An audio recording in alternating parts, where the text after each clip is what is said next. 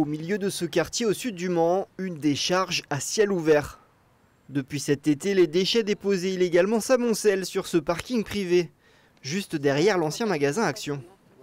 On a trouvé le, nom du propriétaire, donc on lui a, le, maire président envoyé, lui a envoyé un courrier, une mise en demeure de, prendre toutes les mesures nécessaires en lui disant qu'on va nettoyer, mais bien évidemment, ben, c'est lui qui paiera la facture, et puis qu'il prenne les mesures nécessaires pour l'avenir, qu'on n'ait pas à retrouver ça, qui, ferme le temps, qui reloue son, espace. Mais c'est à lui de trouver la solution, c'est pas à nous.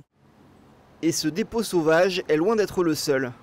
Selon les élus, ce type d'incivilité se multiplie parfois même autour des points d'apport volontaires. Alors face à ce fléau, la municipalité va se doter de caméras nomades.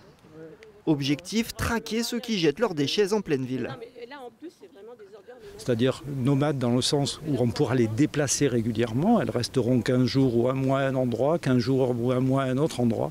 Ce qui nous permettra d'identifier euh, les, personnes qui réalisent ces, dépôts sauvages et donc euh, euh, de, procéder à leur verbalisation ou à, leur sanction puisqu'il s'agit de délit.